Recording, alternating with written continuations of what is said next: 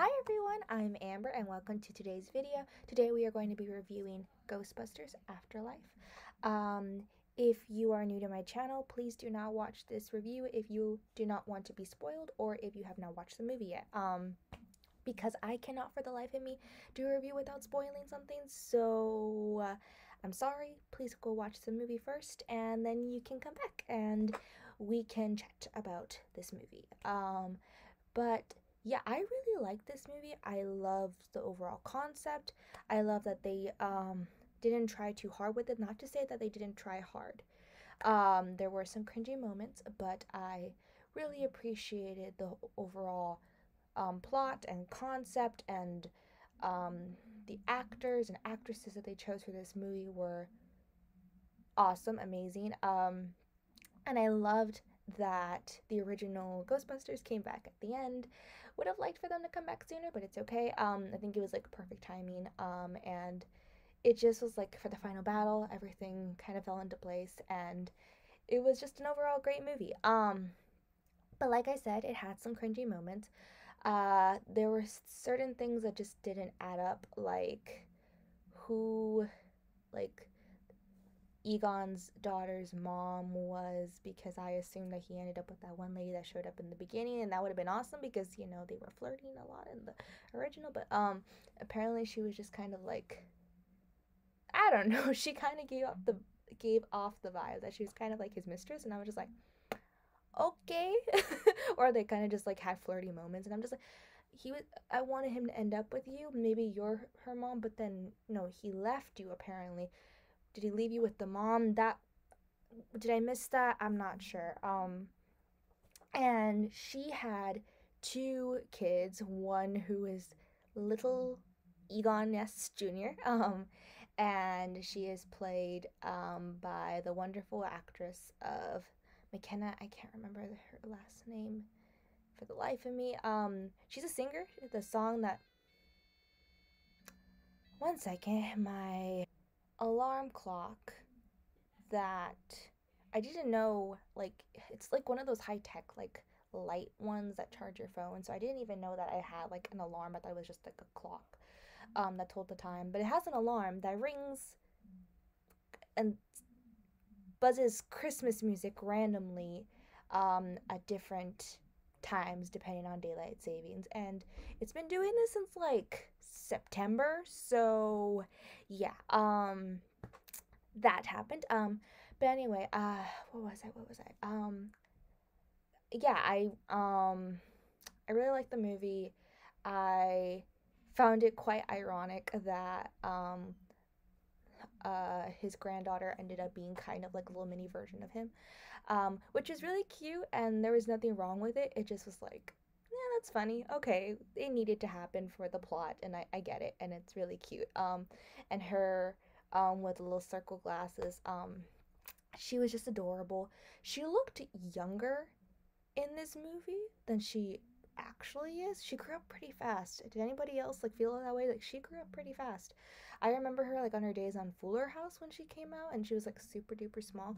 Of course she came out in other movies, but that's where I first saw her. Um but yeah, um so she kind of looked maybe a little bit maybe like a year older than that in this movie and obviously she's much older now. Um and she got very tall very fast. But she was I think the perfect actress to embody this character. Um and then her brother um was there, kind of her comedic effect. Um, he was great. Um, her best friend, also great. Uh, Ant Man played the teacher, which was genius and a little bit weird.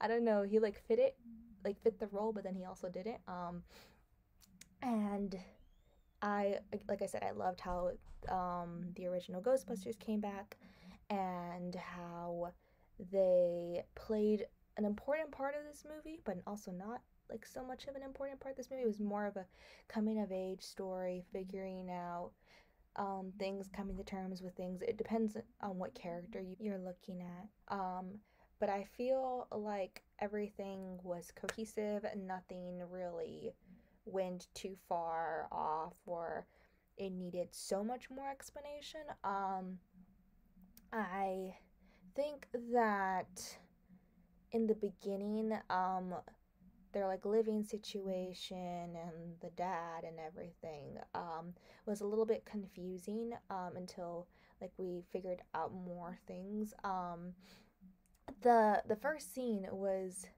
very like what's the word? It wasn't what I was expecting for the start of the movie.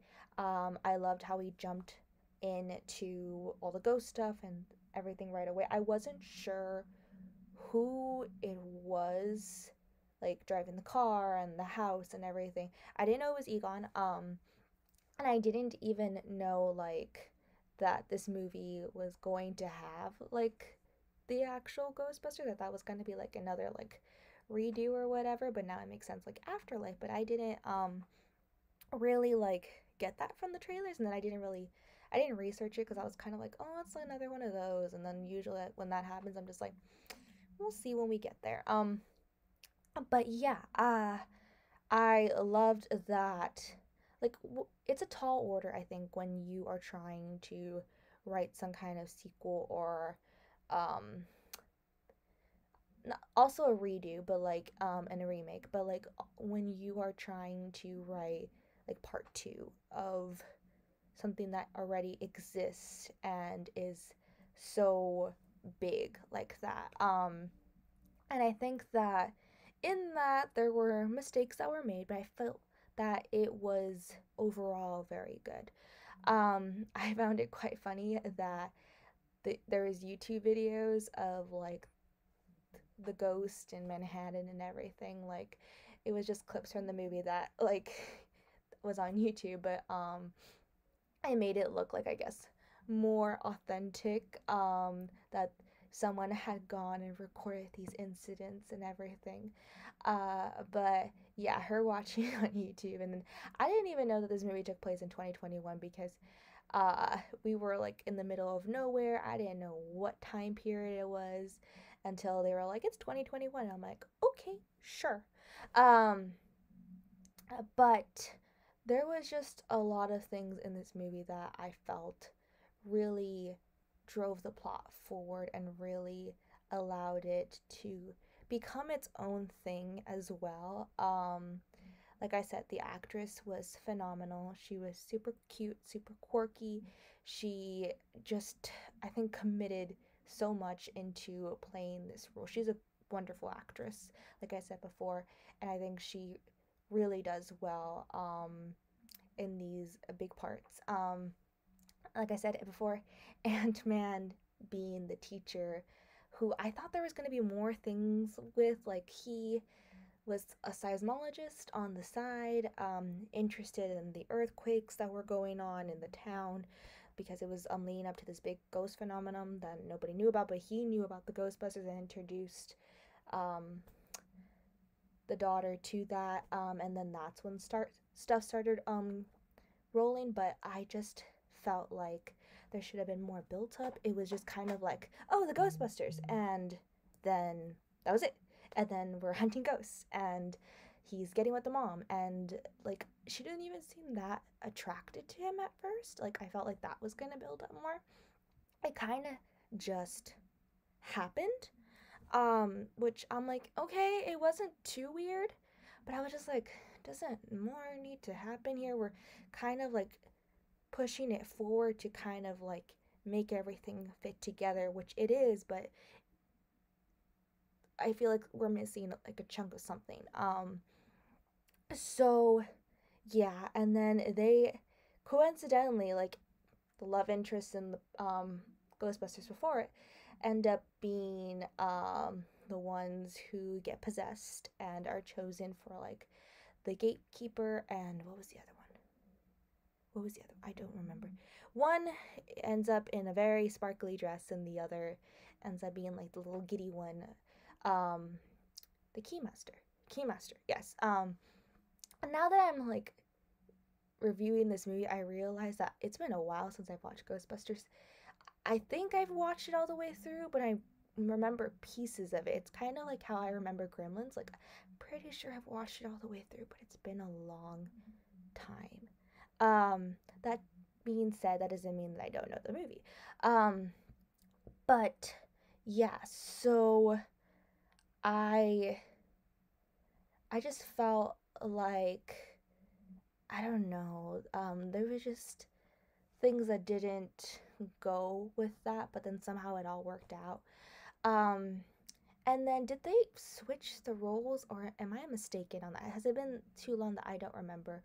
Um because Sigourney Weaver ended up playing the main like it's always the two love interests that end up getting possessed, obviously, but like she ended up playing the main like which one was she? There was the gatekeeper and the she was a cute okay um but anyway she ends up playing that main um one that the keep gatekeeper has to go to and basically be with and like take somewhere and mate and then go and like open up the gates of the underworld and release something um but I don't remember it being the thing that they released in this one um so I'm not sure. I don't think I remember that part where where they release this almighty force. Um I'm sorry. Like part of me is like zoning out and like trying to remember what exactly happened at what point in the movie. Um the original Ghostbusters like I have like I'm remembering me, like part of my brain is remembering little me like watching the movie and what is what and then trying to compare it to this movie. Um, and it was easier while I was watching the movie because you're just like, oh wait, um, okay, um, but once you're thinking about it more critically, it's like, wait, but that maybe am I wrong? This okay. Um, so I'm sorry. Coming back. Um, but yeah, I I feel like the roles were switched where um I don't know how to explain it. The the keymaster and the gatekeeper, I felt like Sigourney Weaver played the main person, and in this movie they release the main person. I might have it wrong. Um, but yeah, and then she just suddenly got a dress, and I didn't think that was like it didn't make sense because it was just like they're just doing it for like comedic effect. Like there's no reason why she should just boom in a dress and then like boom all this is happening and it's like happening kind of sarcastically and funny them getting together and them getting possessed um and then them basically uh being intimate with one another and then yeah all this stuff like um it just felt like it happened boom, boom, boom so fast. And it just, yeah, that's not how it was in the, I think in the actual movie it was comedic, but like it went and there was purpose behind it and things happened slower and it wasn't just like this has happened already in the original so let's just do this so that way they can see and ha ha ha and this um but yeah so they released this a powerful being who apparently the original Ghostbusters fought before, but I can't for the life of me remember. I only remember Sigourney Weaver.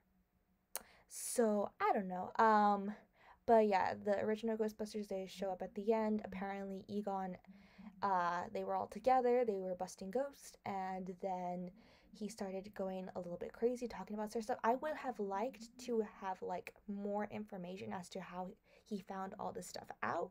It just kind of was thrown at us. Um, and then uh, his friend like still had the phone number, I guess, and like they had all gone their separate ways, which to me it broke my heart. I hate it.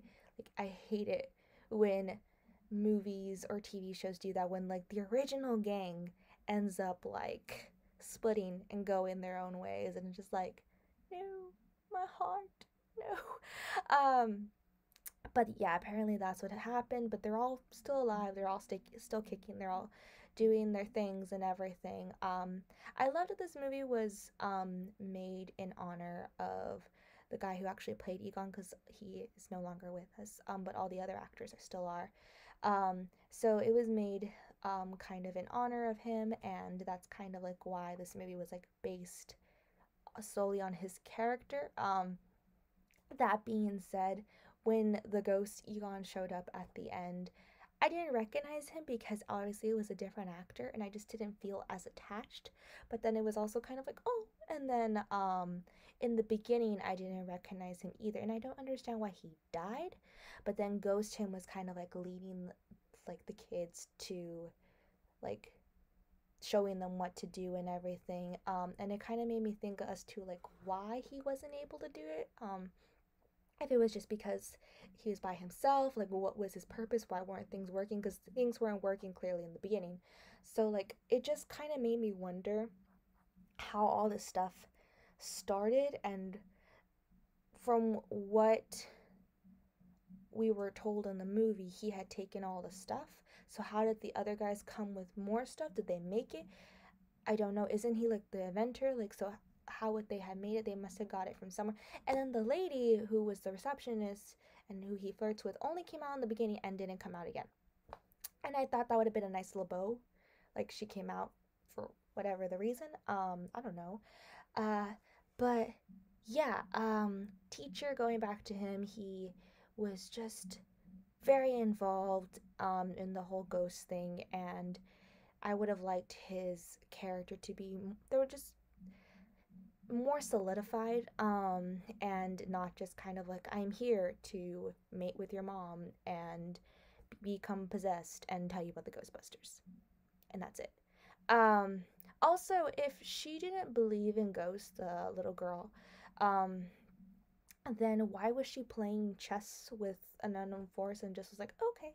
And she believes in science obviously and it just was like does is that not weird to you? Like hello um, Egon's ghost was very funny though, very funny.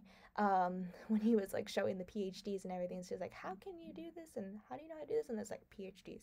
Um, so him moving the light around and like using what is the equivalent of an um, EMF meter, I guess. Uh, that's how I always understood that the little thing worked. Um, uh, well, maybe it is called an EMF meter. Maybe I'm just losing. I think it was something else. Uh, but like using that to kind of like communicate with them was nice. I don't understand when all the ghosts went back why he didn't go back with them. Like he can't stay if all the ghosts go back. Like how is he staying? I don't, I don't understand.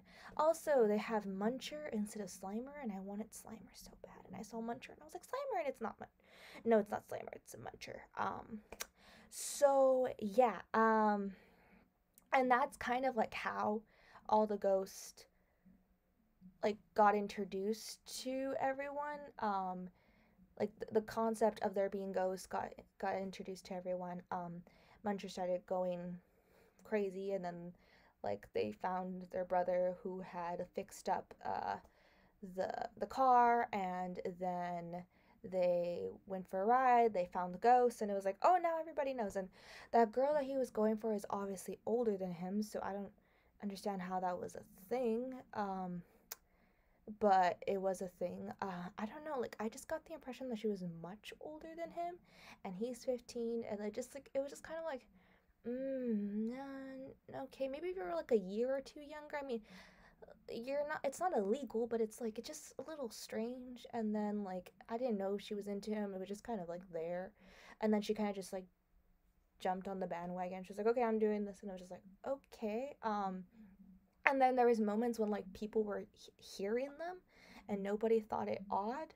But then there was already a ghost running around town. So I don't know. And why did they let the demon ghost out in the first place? Like, shouldn't they have kept it in the box? And then, like, none of this would have happened? Like, Egon trapped him, so why was he like, here, look at the box? And then they're like, ooh, let's try to open it. It's like, was that his original plan? Like, it just kind of made it seem like he wanted all this to happen so they could fix it again and get everybody back together. Like, he somehow knew. I don't know. But, like, if the thing was already in there, then you you you don't got a problem you know like if you release that thing that's when you got a problem and you release the thing um just because you were being nosy was that your intention i don't know so a lot of those things kind of happen where it was just kind of like well that happened was that like part of the plan. Um, um, so those kind of things didn't really make so much sense to me, but it all kind of worked out together. Um, I love the little peeks of like the Ghostbuster things, like where the car kind of like like they showed it um the symbol for a second and then it went away. Like those little things were, were nice. Um, I loved how uh Egon showed his daughter like that he had been like watching after her and that moment when he was hugging her and they were all there together. That was really nice too. Um the movie also kind of just ended. It was just kind of like okay what's next? That's it. And it was just kind of like we look at the sky and it's over. It kind of felt like how um the host finished but the host felt complete. Um but it was just kind of like we look up into the sky and it's over. And i'm like wait it's over? Like there's no okay. All right. So that is kind of how I felt. Overall, I liked the movie, but I just feel like I'm talking about things that didn't make sense for me, which I feel like it's important to talk about. Um, but I think what made the movie good for me was the actors and how they played their parts and the nostalgia of it that was done very well, where it kind of made everything blend together nicely so that we weren't able to see the blurred lines. Um, and then mistakes and the things that didn't really make sense. And obviously, it wasn't like intentional things that didn't make sense. It just kind of, you know, it, it, it um happened in the movie. Um, things that were not fully fleshed out or whatever the case may be um, in the, the writer's part and the director's part. Um, but I feel like they did a good job in doing that so I'm not able to really like say too much of what I liked about it other than that. I'm really able to just focus on the things that didn't make sense because it's like when you're watching it, you're paying attention to that and you recognize that, but it then you're also enjoying the movie. But then when you're analyzing it, you know what you enjoyed about the movie. You just can't put it into words because like it was what it was. Like I, I don't know how else to explain it. Um so yeah, um, but I do highly recommend this movie. It was a really nicely done movie, um, and it was cute and some scenes were appropriate uh, for family, but I feel like Ghostbusters does that, where it's like certain things I'm like, eh, maybe not so appropriate, but okay, it's for kids. Um, like they kind of masked that, so like it was done in a way where it was just like, okay, you you got off with this one, you know. So that's kind of how this movie felt as well. Um, and yeah, like I highly just suggest you watch it just for the nostalgia of it and because it's a really fun family movie. Um, and those are my thoughts on that. Um, sorry for the long review. I try to hit like that 15 minute mark and then it just never happens. But then for my ASMR videos, when I want to do a longer video, I can't do it longer. So I don't know. Um, yeah, and then if, if it's like about a movie I really liked and I have a lot to say about it, like the it just tends to go for a long time. So those who stay and who watch all this, thank you. I appreciate it. Um, I guess it just kind of is what it is, and I'll try my best. Um, but yeah, thank you so much for watching this video. I hope that you guys all really enjoyed it, and I hope to see you all in the next one. Bye!